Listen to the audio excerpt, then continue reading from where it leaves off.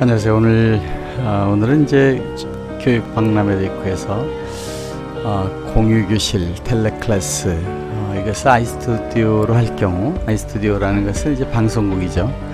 방송을 할 경우에 어떻게 원격 어, 줌 줌이죠. 지금 제가 왼쪽에 줌 비디오를 하나 켜놨는데 줌 그 다음에 유튜브 그리고 메타버스 뭐 지금은 이제 강의용으로 좀잘 어, 간단하게 되어 있는 이프랜드를 이용하는 그러니까 메타버스 어, 대중적으로 하는 유튜브 방송 뭐 양방향 interactive 하는 줌 어, 그리고 거기에 iStudio 이런 의미를 가지고 뭐 원격 교실 비대면 교실 이런 것에 대한 이야기를 나눠보도록 하겠습니다.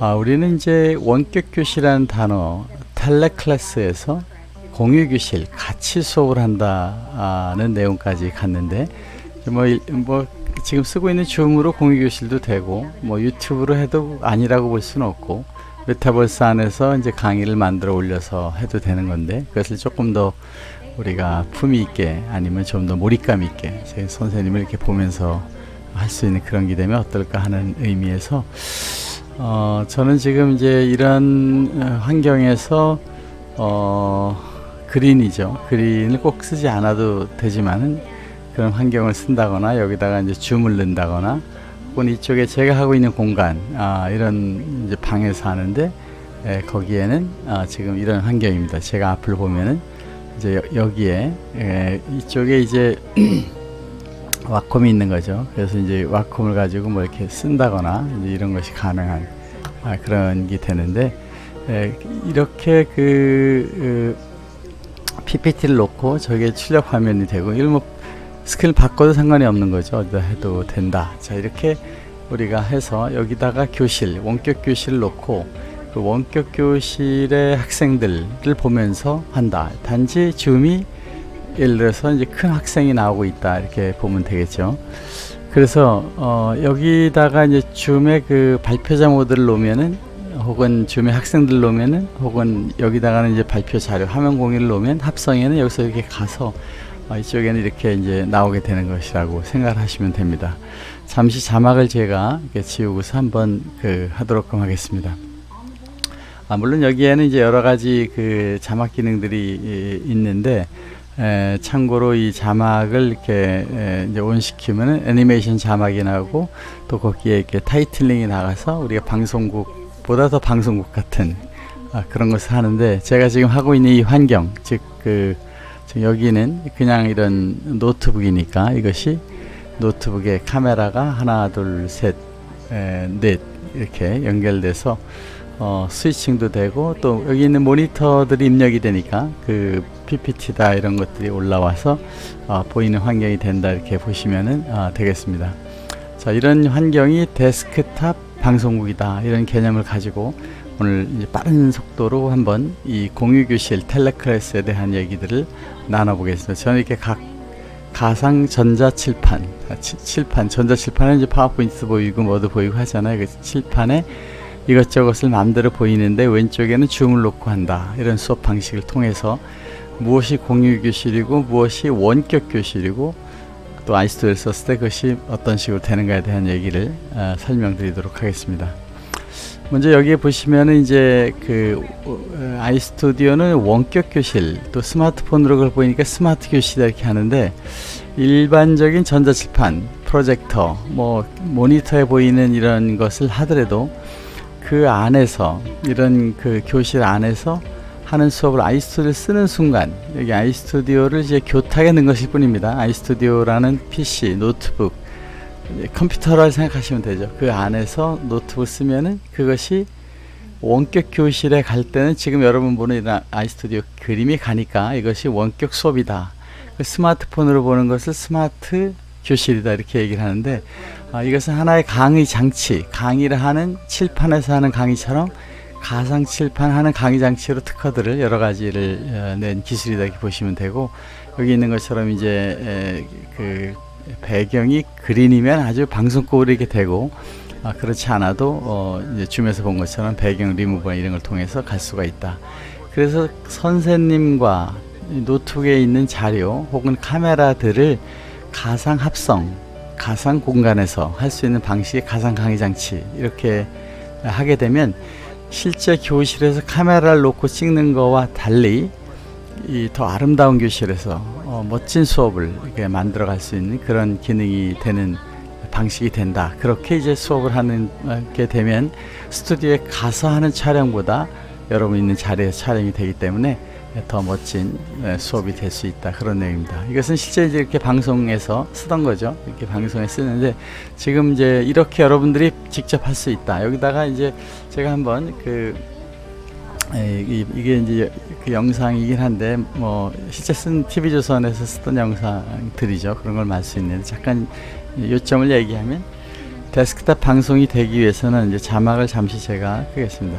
데스크탑 방송이 되기 위해서는 스튜디오에 가서 찍는데 거기 가면 카메라들이 있고 전 그 방송 장비가 있고 운영자들이 있지 않습니까? 이, 이 스튜디오 세트를 그래픽으로 만들고 지금 여기서 이제 제가 하고 있는 이 스튜디오 세트를 만들고 거기에 카메라가 지금 이렇게 지미집 액션이 일어나서 들어가면서 그 안에 장면들의 스위칭을 하고 있는데 이것이 다 혼자서 인공지능 기능에 의해서 알아서 선생님은 강의만 하면 된다 하는 강의 장치입니다. 여기서부터 출발이 되는 겁니다.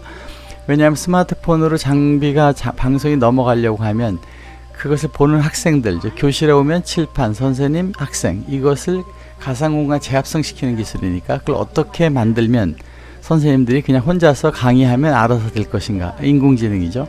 어, 지능형 어, 그 기능들을 넣어서 선생님이 하는 걸 보고 알아서 할 수 있게끔 하는 이제 그런 장치가 돼서 어, 이렇게 수업을 하게 되면 눈 맞춤도 동시에 일어나고 선생님도 선생님 볼 때는 선생님 좀 더 선생님답게 또 칠판을 볼 때는 칠판답게 나오게 된다는 것입니다.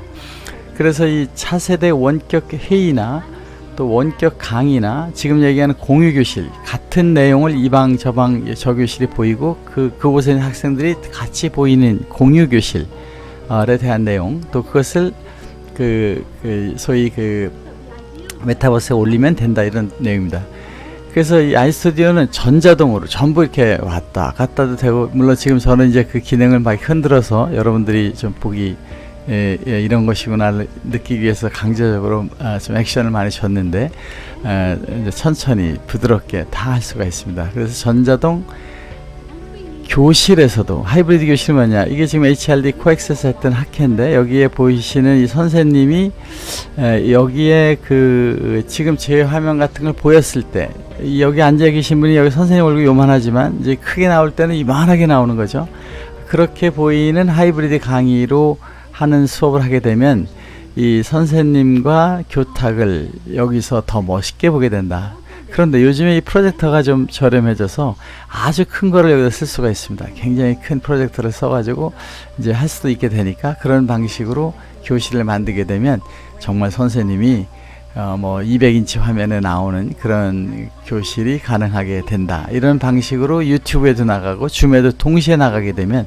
우리는 어 원격 교실에 있는 학생들하고는 양방향으로 되니까 그것을 공유 교실이 되는 거고 유튜브로 나가게 되면 스마트폰으로 보니까 스마트 교실이 되는 하이브리드 대면 유튜브 양방향 원격 어, 수업 이것을 이제 저희는 그 하이브리드 강의다. 단지 대면 비대면뿐만 아니라 이제 멀티 교실까지도 될 수 있다 그런 뜻입니다. 그래서 하이브리드 교실은 지금 이제 보시는 것처럼 이렇게 선생님이 제 방식으로 나오고 있다고 가정하면 여기에 여러 명이 보이면서 같은 화면이 여기저기 보이니까 그런 방식으로 만들어지고 이것을 이제 에, 그 교실을 하려고 보니까 이제 여러 교실이 나오면 줌으로 하면 이렇게 나눠서 보이잖아요. 근데 여러 교실이 되면 다림이 만든 아인슈타인 미트라는 걸 쓰게 되면 고화질로 강의를 줌, 줌은 이제 약간의 압축을 많이 하기 때문에 항상 조금 뿌옇게 나가게 되는데 그런 효과를 어, 없이도 할 수 있게 되는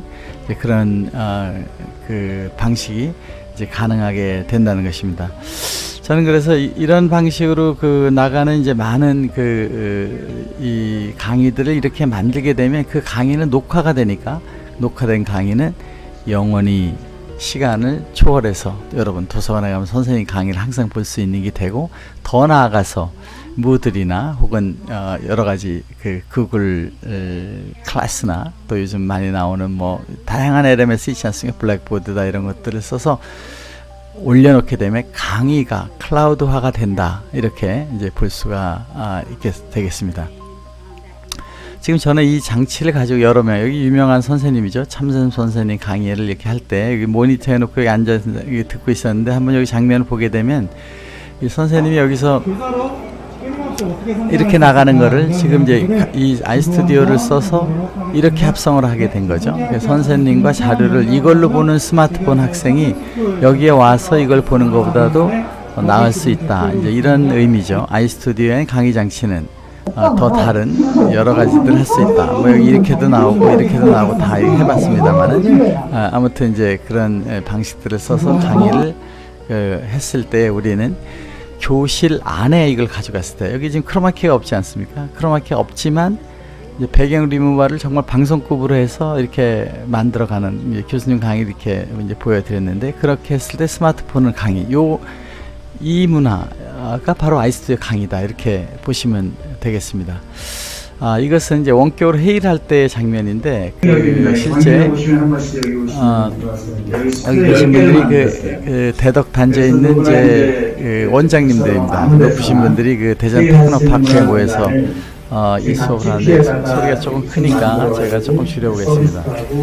아, 이렇게 그 화면을 보는 지금 이 보는 화면이 실시간 가는 거죠. 줌으로 혹은 스카이프로 혹은 구글 미트로 갈때 그런 이제 환경이고 저는 이제 이것을 그 제 방에서는 이렇게 보고 있어 하는 겁니다. 제 방에서는 어, 제가 이런 방에서 여기 계신 분들을 다 보면서 또 환경을 보여가면서 이렇게 이제 수업을 하는 그런 것들을 보인 적이 있습니다. 자, 이런 VR 프레젠터에 대한 여러 가지 그 어플리케이션, 즉, 그, 어, 이제 미래부에서 했던 그 VR 컨퍼런스, VR 프레젠테이션을 이렇게 보여서 강당에 계신 분들이 정말 몰입감 있게 보는 그, 이제, 것도 했고, 이건 이제 실제 카이스트에 있는 그, 저, 시티과의 교수님하고 같이, 그 학과장님하고 같이, 에, 최첨단의 그 강의실을 한번 해보자 해서 같이 만들고 있습니다. 다 디자인도 이거 우 교수님이 하신 거고 저희는 장비를 넣고 여기 프로젝터는 또 다른 우리 에, 스마트 조합에 계신 이제 에, 그 조, 조합 사장님께서 이것을 해서 같이 공동으로 이런 걸 만들어서 세계 최고의 엑사 스튜디오를 해보자 해서 지금 진행되고 있는 내용이고요.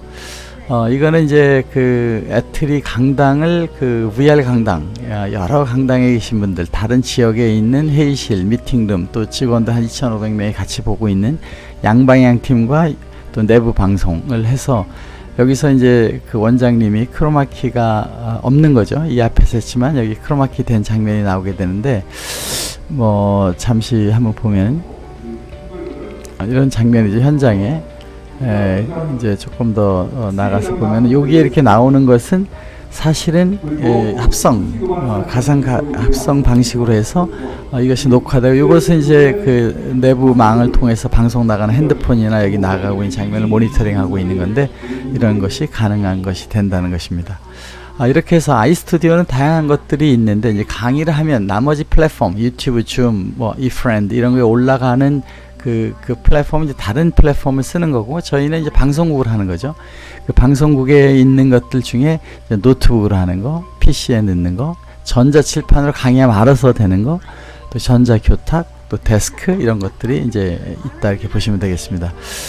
그래서 이제 저희는 크게 방송국을, 그 빌트인 방송국이죠. 우리 아파트를 져서 납품하듯이 이제 빌트인 방송, 방송 져서 그냥 갖다 놓으면 됩니다. 크로마키 없어도 되니까 아무 곳이나 아무 곳이나 방송국이 되는데 칠판으로 하느냐 혹은 이제 회의실 같은데 혹은 방송실 같은 이제 그린, 그린 스튜디오 있으면 갖다 놓으면 되는 거죠. 또 데스크 교실 같은 데 놓으면 학생들 보면서 할 수 있는 거고 또 프로젝터 같은 것이 있는 데는 이 lectern을 갖다 놓으면 되게끔 하는 그런 방식들을 제공해서 교실에 가서 이걸 쓰게 되면은 줌으로 나오는 거와 거기에 있는 어, 줌 학생이 나오니까 저는 이것을 하이브리드 강의다. 즉 학생들은 여기 그린이 없어도 되는 겁니다. 프로젝터나 이런 것이 있는데 학생들은 여기를 보면 되는 거고 비대면 학생과 그 강의가 나가게 된다. 그래서 어, 이렇게 큰 칠판을 해도 되고 데스크를 해도 되고 교탁을 해도 되는데 어, 이렇게 메타버스 교실로 어, 이 강의들이 올라가면 이, 이, 그림을 같이 넣으면 되는 거니까 이프랜드에 가서 아바타들이 가면 그 강의는 거기 있다. 강의를 듣고 토의하고 모이는 공간이 된다. 그것이 메타버스 강의가 만들어질 수 있는 게 되죠. 이 하이브리드 교실은 지금 설명드린 것처럼 선생님이 일반 강의 아까 참선선생님 하듯이 그냥 강의만 하면 여기에 비대면 강의와 학생들이 보인다. 그리고 다른 교실들도 이렇게 보이는 거죠. 다른 교실에 똑같은 게 나가니까.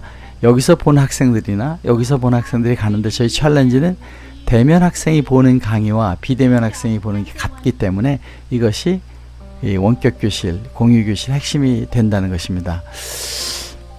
또 저희가 이제 교실들이 나와야 되니까 교실들이 나오려고 하면은 이제 그 교실 안에 그, 그 다른 교실이 크게 나와야 되니까 하나가 아니고 여러 교실이 항상 나와 있으면 주문 우리가 매니징을 못하니까 저희가 이제 카이스트에는 카이스트 미트닷컴 각 대학마다 그 미트닷컴을 만들어줍니다. 아, 다른 미트닷컴, 아이스트의 미트닷컴 이렇게 해드려서 온프레미스 학교 안에 서버를 넣어도 되고 이제 보안 문제가 있는 음, 그 기관들을 안에 넣어도 되고 밖에 클라우드에 되는 걸 해서 교실마다 어, 이 서버를 통해서 각 교실 연결하는 거죠. 줌으로도 들어오지만 동시에 다른 교실도 이렇게 크게 나오게 해서 여기에 교실들이 이렇게 실제 교실 보이게 하는 겁니다. 이렇게 만들어서 여기는 아이스토 Meet multi session 화상회의 즉 클래스 1끼리 서울하고 MIT하고 이렇게 갖다 붙여서 교실을 그 교실이 보이게 하는 그 방식이라는데 이때는 어, 이 안에 여러 프로젝터를 쓰거나 혹은 video wall 기술이라고 그래서 이 파사드라고 그러죠. 스크린 여러 개 달아서 그걸 한 스크린처럼 managing하는 그걸 써도 된다. multi session 화상회의 서버 플러스 video wall 컨트롤까지 가면 더욱 멋있게 된다. 그런 겁니다. video wall 기술은 어, 저희 장비 하나에서 프로젝터가 12개까지 뭐 저희 추천한 12개, 16개까지도 가능합니다만은 이론적은 더 늘릴 수 있습니다. 한 서버에서. 근데 하나로 성능에 이제 문제가 있으니까 두 서버 넣으면 뭐더 크게도 할 수 있게 되겠죠.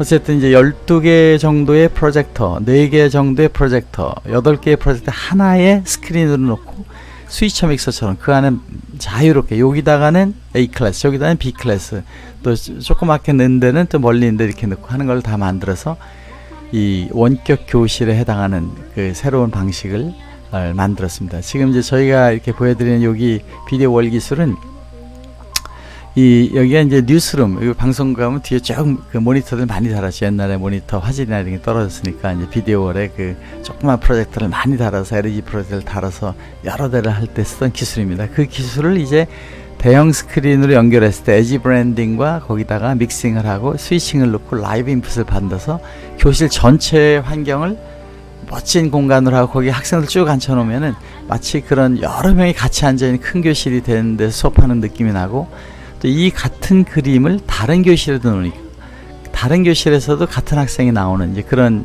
뉴스룸 파사드 어, 그 다음에 화상회의를 집어넣는 그런 방식들을 써서 한 것이고요. 이것은 실제 우리가 그 코엑스에서 그 이제 아, 한데 요때 이것은 스카이프를 했고 여기는 지금은 줌 그림을 그냥 넣은 겁니다. 이건 실제 그림이고요. 여기는 그 프랑스의 그 이러닝 팀장님께서 하는 것을 거기서 보인 장면이고 어, 이것은 지난번 e-learning 그 전시회에 이렇게 보여서 실제 멀티 교실을 구현시켰던 것입니다.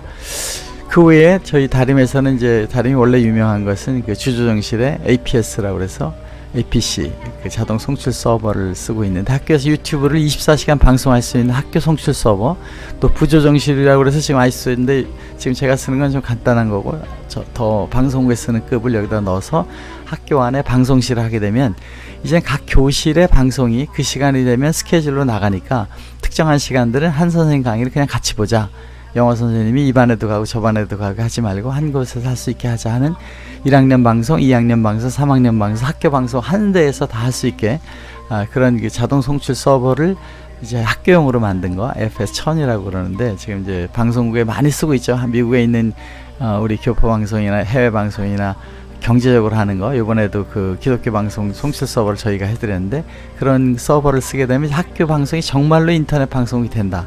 그래서 교실을 하자. 그래서 이제 종합하면 어, 아이스튜디오들이 교실이나 이런 데 들어가고 방송실, 학교 방송실에는 아주 고성능의 주조정실, 부조정실을 넣어서 학, 방송국이 돼서 24시간 방송이 나가게 하고 아, 교실 중에 좀 특별한 교실들은 공유 교실로 만들고 화상회의 서버를 넣게 된다. 이외에 이제 LMS와 아, 또 우리 CMS 유튜브가 보통 많이 쓰니까 CMS가 유튜브입니다. 이 방송 서버를 유튜브를 안 쓸 때는 저희가 서, 내부망 서버를 제공해 드리는 걸 아이스토 LMS, 저 아이스 CMS라고 그러고 LMS는 이제 뭐 구글 클래스나 혹은 이제 저희가 그 Open edX 지금 KERIS에서 하고 있는 표준을 따르는 것은 이제 그 오픈 EDX로 제공해 드립니다. 물론 그 저희가 개발한 것이 아니고 어 그 MIT 하버드가 만든 그 EDX 플랫폼 개발자들 오픈해서 뭐 전세 같이 쓰자 것을 이제 해드리는 것 뿐입니다.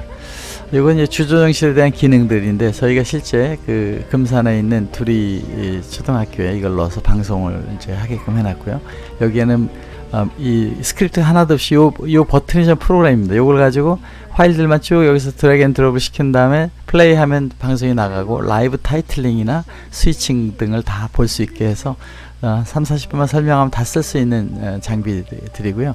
아까 말씀드린 화상회의 Meet는 WebRTC 국제 표준이죠. WebRTC 기반으로 해서 만든 건데 이것도 저희가 만든 것이 아닙니다. Jitsi라고 하는 잘 사용하는 것을 저희가 서비스해 드린 것 뿐이고 source open이 되어 있는 것이기 때문에 그걸 만들어 가지고 했는데 독일이나 이런 학교에서는 전부 이, 이 플랫폼을 많이 쓰고 있어서 저희도 그것을 활용해서 개발한 것입니다.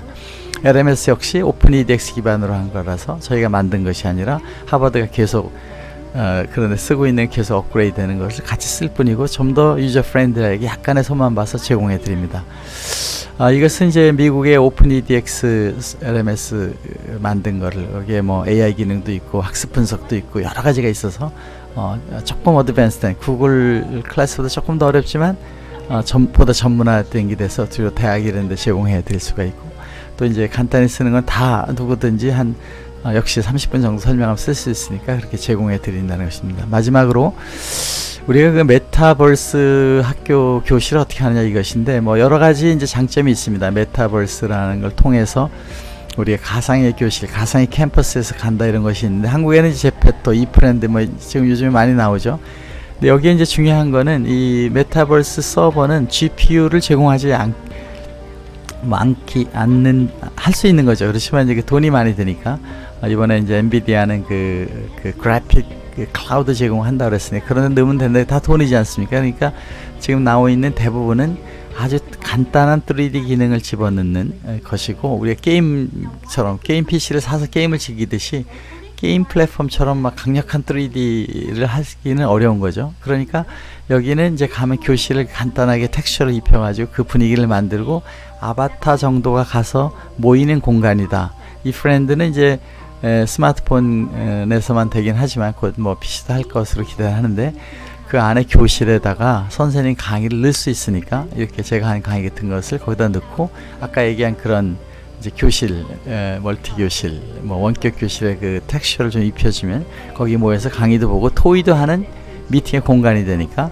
그러한 이제 것을 잘 활용해 나가면 우리가 좀 더 유익한 아, 교실을 할 수 있다는 뜻에서 여기다가 이제 그렇게 그 아이스튜디오를 써서 메타버스에 집어넣는 방법들을 추천해 드리고 캠퍼스에 가서 이방저 방도 가고 학교도 가보면서 미팅하고 학생들이 모이면은 선생님 강의만은 아니잖아요. 모여서 얘기하고 토의하고 또 필요한 것을 가서 볼 수 있게끔 하는 거니까 다양한 방식으로 우리가 이것을 어, 활용하면 좋은 교육 플랫폼이 될 수 있다는 생각에서 어, 이런 환경 어느 대학교가 거기 가면 있다 거기 교실에 강의들이 있다 이런 식의 방식들이 만들어질 수 있기 때문에 저는 온라인 수업 강의 장치 아이스튜디오들을 이용하는 것으로 지금의 기존 플랫폼들을 갈 수 있고 그런 것이 seamless integration이 되어 있다 그래서 이렇게 회, 지금까지 썼던 회의들보다 좀 더 나은 어, 회의를 한다면 iStand만 탁 집어넣으면은 설치 시간 1시간 안에 되고 인테리어도 거의 필요 없이 될 수 있다. iDesk로 셀프 스튜디오도 이렇게 갈 수 있다. 교실 안에 전자칠판을 넣게 되면 바로 교실은 메타 교실, 멀티미디어 교실, 또 더 나아가서는 원격 공유 교실, 하이브리드 교실이 가능하게 되는 거고 선생님 칠판 수업하면 이렇게 생기는 거죠. 이 모니터를 꼭 여기다 붙이지 않아도 되지만 설치가 용이하게 저희가 이렇게 만들어서 제공해 드리고 전시회도 그걸 제공하고 있는 거죠. 어, 이래서 선생님은 그냥 일반 강의 하듯 하면 다 스마트 강의가 된다 그런 뜻으로 보시면 되고 이제 lectern 교탁으로도 만들고 또 책상으로도 만들어서 이런 여러 가지 형태를 제공하는 아, 그런 방식들을 제품으로 출시하고 있는 것입니다. 물론 지금 이제 이렇게 간단한 뭐 공사 안 하고 그냥 작은 공간도 어, 카이스트 가보니까 이제 교수학습지원센터에서 디자인 선생님께서 만든 게 있는데 저희들도 이것을 중국제입니다. 이거 갖다가 손봐서 제공해 드리는 걸 지금 준비하고 있습니다. 저희는 1991년부터 지금까지 약 30여 년 동안 방송계, encoder, JPEG, MPEG, 1, 2, 3, 4, 또 스트리밍, 에, 또 CCTV 디지털 최초로 하석하는 것 등 하다가 이제 지금은 드디어 이 VR 세계 환상적인 이 메타버스 어, 시대에 접어들면서 그동안 인류가 만든 스마트폰, 또 방송, 비디오, 코덱 뭐 이런 것들을 함께 만드는 소위 참여 공유 개방의 2000년 들어서 써왔던 철학 어, 세상은 함께 만들고 함께 공유하고 그리고 함께 소유한다 하는 이제 그런 그 내용 여러분들이 이제 교육 DB를 만들고 강의 학교를 만드는데 함께 참여하는 그러한 시대에 다림도 함께 노력을 하고 있다 이렇게 에, 하는 회사입니다. 여러분 오늘 에, 긴 내용 짧게 말씀드려봤습니다. 다림과 함께 여러분의 교육의 소중한 컨텐츠를 이제 에, 멋진 그 세상으로 바꾸는데 같이 했으면 하는 바람입니다. 여러분 감사합니다.